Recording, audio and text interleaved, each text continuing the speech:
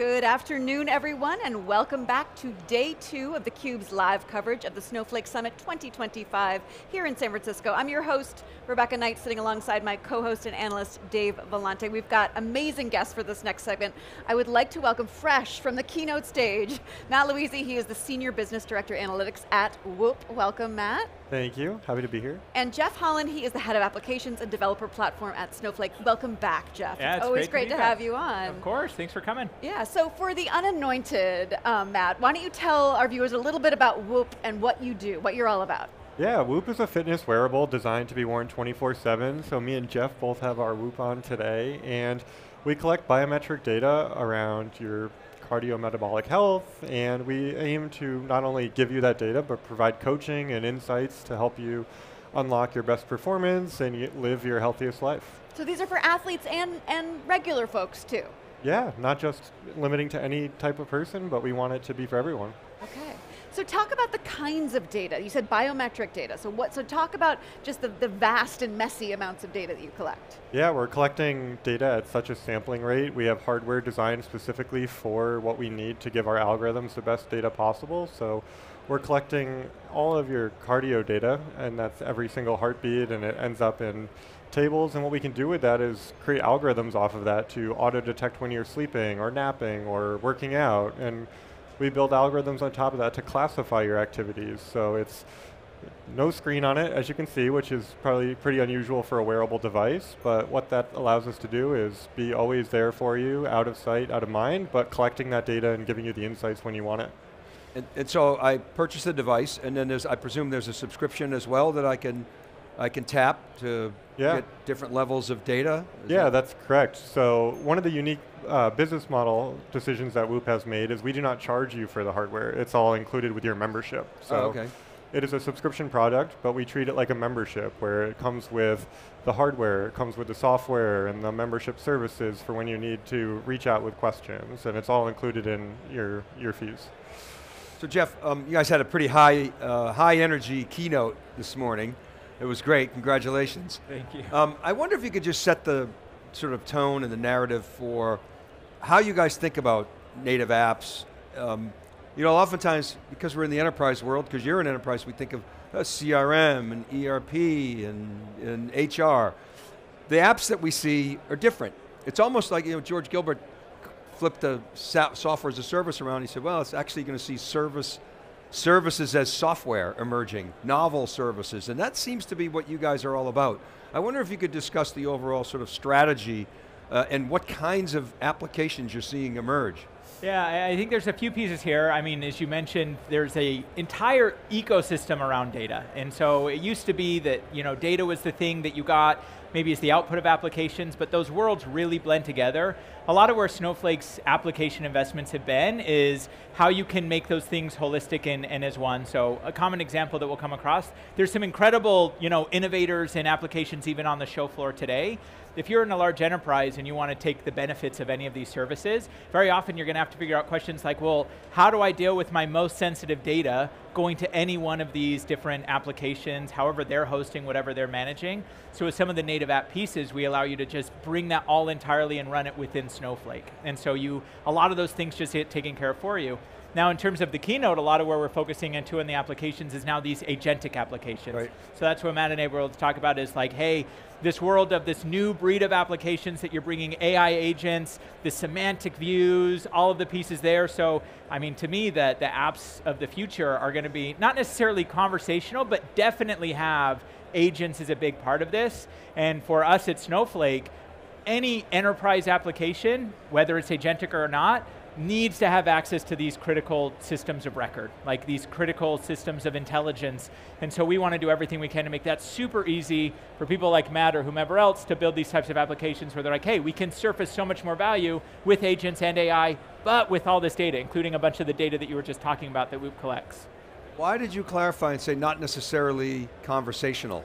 Oh, I guess the, like, conversational is really good for some things, right. but like even for example, uh, you know, sometimes I, I just want to click a button. I don't necessarily want to have to type in everything that I want to do. So I always want that conversation as an option. Sure. I just think we're going to see a new set of form factors evolve that's not always tell it what you want, but you know, give me some buttons as well to, to click.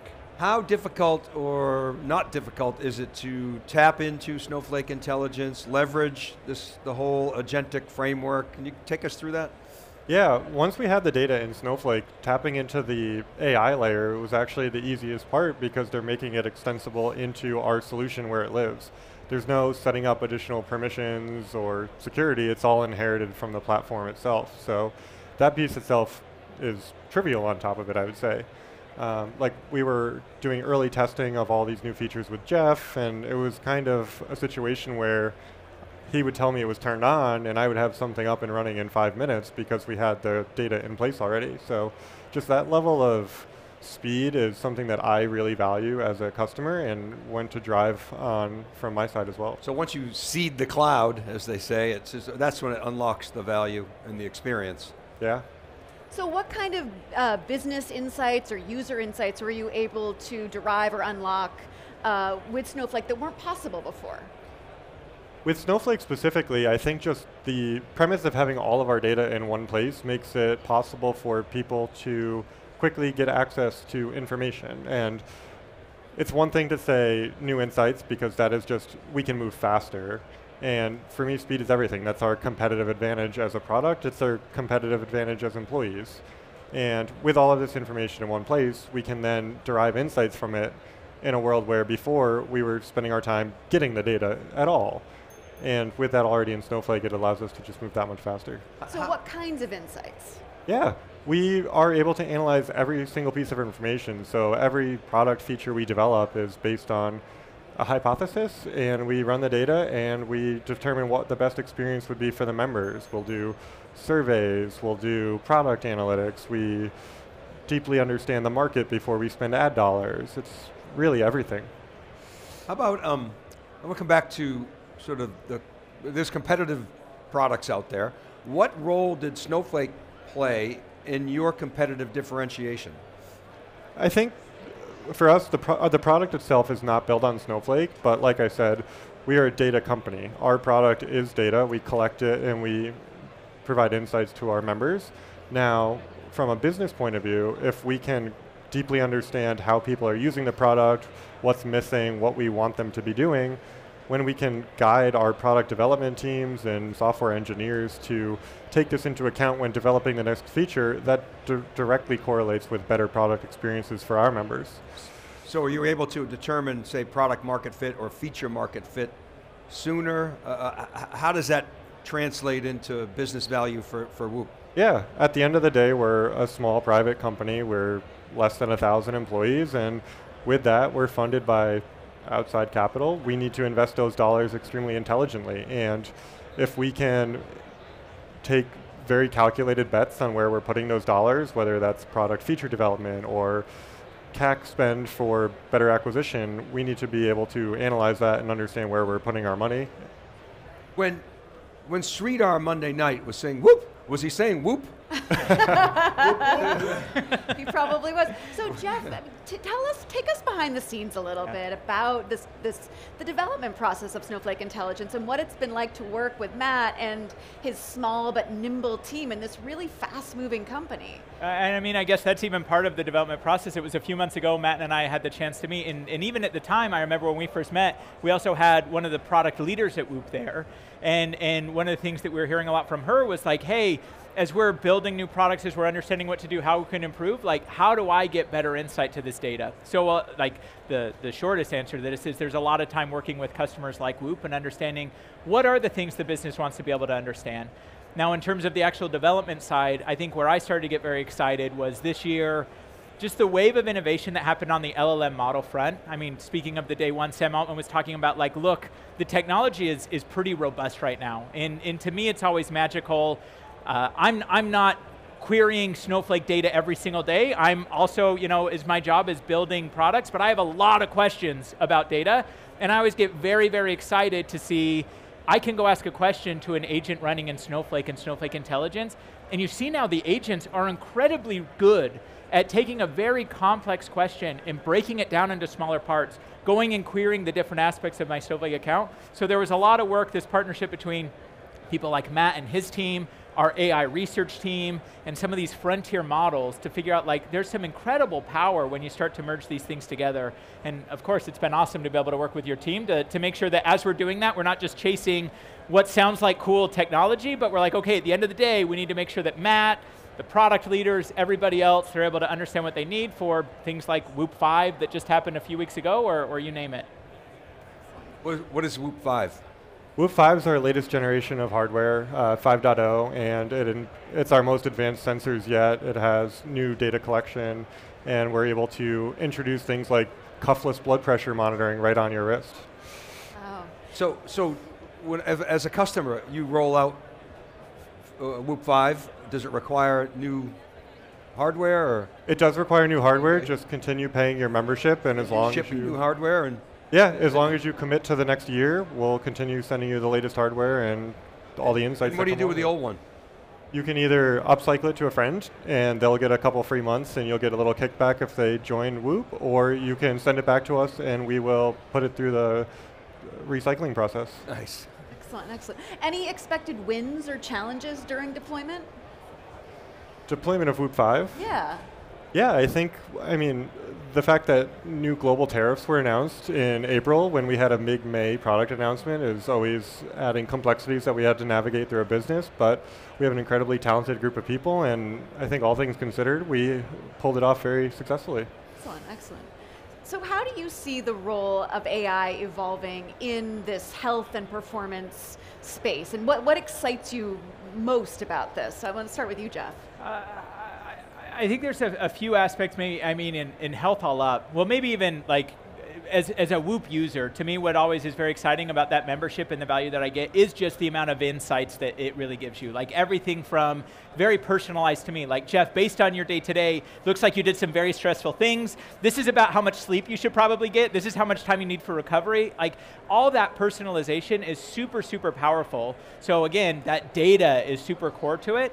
I think AI is just going to continue to be a catalyst in the amount of data that we can work with. And again, where I get excited in working with, with the Whoop team is I want to make sure that that team, as they're thinking about what are the next set of insights, what are the trends that they're seeing, oftentimes it's evaluating the data of like, hey, is there a relationship between people who, you know, the, the, scenario we did, people who take multivitamins, people who have pets, people who have these types of hobbies, and other health characteristics. If we can make some of these trends more visible to their team, they can go build specialized models, algorithms, you name it, and whatever else. But to me, it's, it's the, the potential that AI has to permeate across all of our lives to just enable us to all be a bit more productive. Like that, that to me is where I get most excited about and AI, healthier. and that includes and healthier too. I mean, very genuinely. I guess this was like a year or two ago.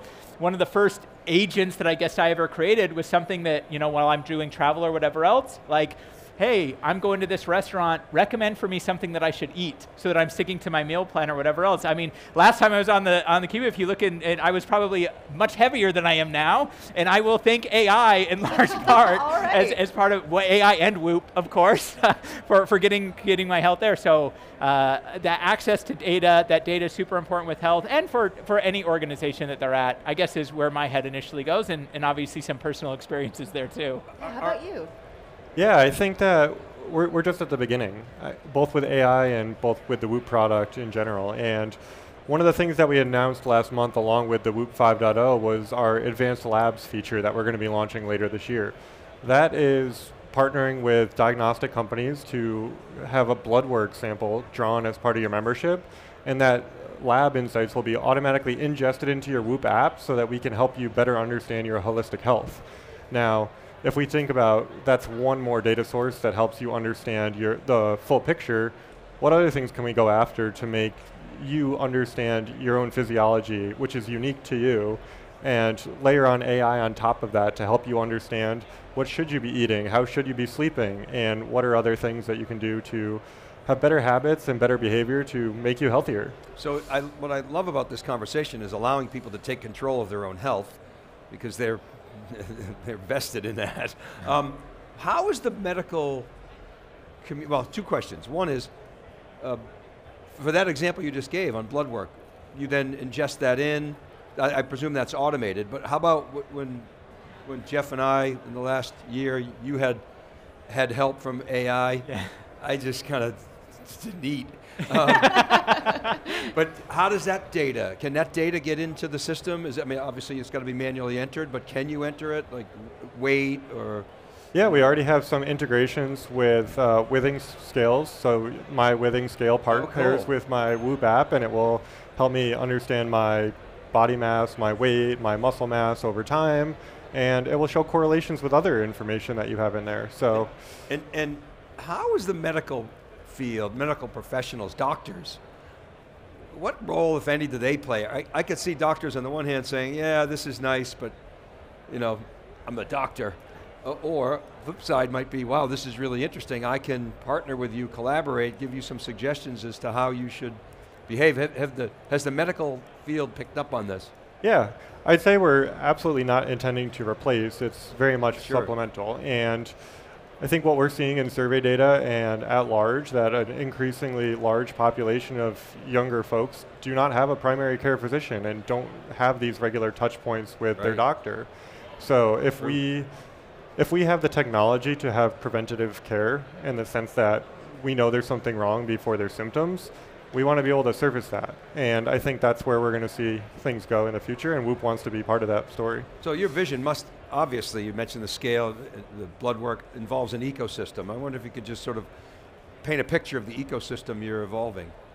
Yeah, I think if we can partner there with the physicians and be like something that we can partner with, and uh, when you go to the doctor, they'll always say, "Oh, your blood pressure is going to be a little off because you're nervous," or you know, this and that. But if you can show them what that trend is over time, that's the full picture. So you're kind of giving that physician the best information that you can to help them help you with the right decisions. And if we can bring in more information like nutrition and just all the things throughout your life and have that be a central ecosystem, that's a tremendous amount of data for us to apply AI and insights on to unlock even like things that we don't know. And that's another thing Sam was saying is just throw a ton of compute at these things and have it figured out. Yeah. Like maybe we could be part of that story as well and part, uh, we partner with OpenAI as well for some in-app features. Well, we look forward to having you back on theCUBE next year to hear more about Whoop's journey and, All and, what, and what you found out. Yeah, I'm sure we'll be much farther along. So we'll all be so much it. healthier too. Yes. Exactly. I'll be running marathons faster. so great to great to have you on, Matt and Jeff. A really Thank you. fun conversation. Hey, thanks so much.